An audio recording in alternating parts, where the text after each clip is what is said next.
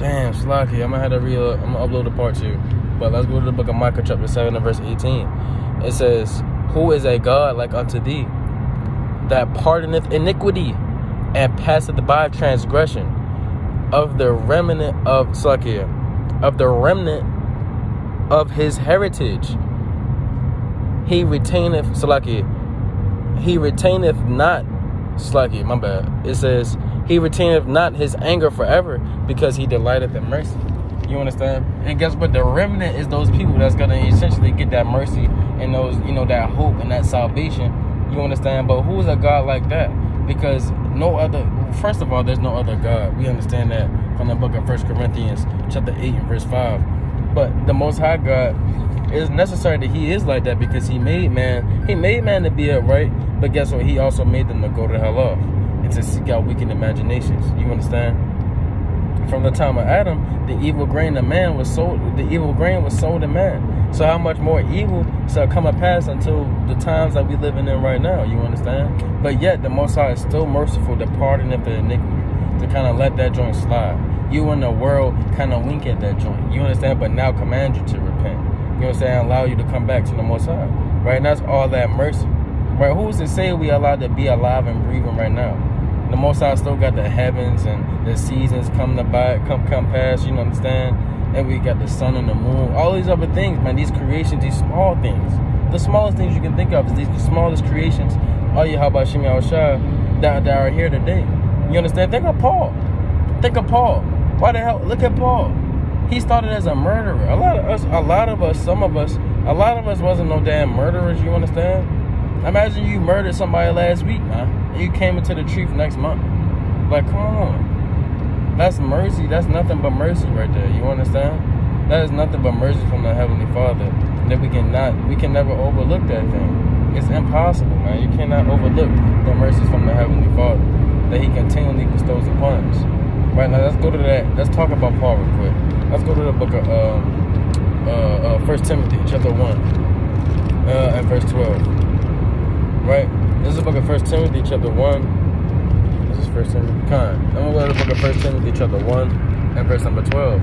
It says, "And I thank Hamashiach Hawashah, our Lord, who hath enabled me for that slucket, for that He counted slucket. My bad. It says, and I thank Hamashiach, our Lord, who hath enabled me.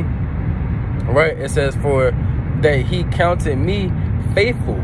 putting me into the ministry. Right? So you thank Yahweh our Lord for putting us into this ministry. Even though you was an adulterer, a fornicator, a murderer, a, a theft, you understand, an extortioner, whatever you may have been a reviler, a fighter, you had an anger demon on you, whatever it may have been. We thank Hamashiach Yahweh Shah for putting us into this truth, allowing us to watch videos and allowing us to, you know, allowing us to watch videos, make videos, exhortate, call upon our brothers, call upon our sisters, love our wives, and love our brothers and love the nation. And we pray that He continues to lift us up as a nation. You understand?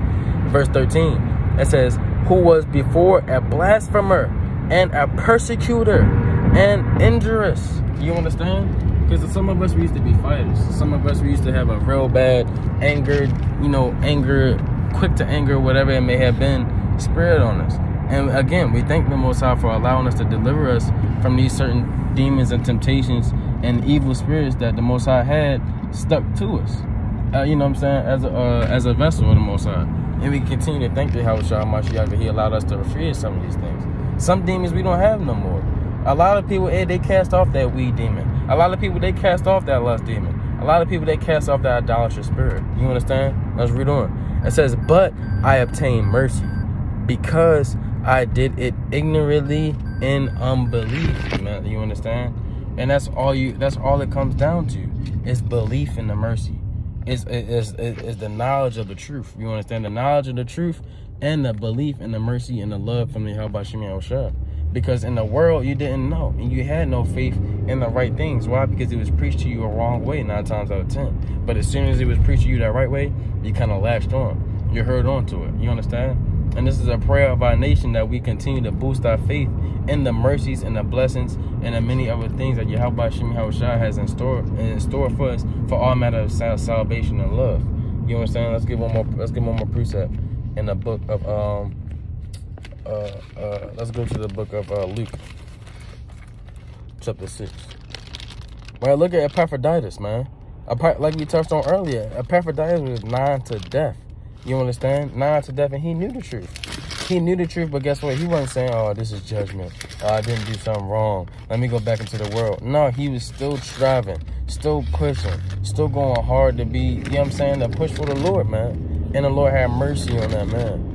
Right? You can be sick nine to death, but guess what? The Lord gonna get you back up. And stop thinking sick nine to death is just a damn corona, man. It's just something physical. These things are spiritual as well.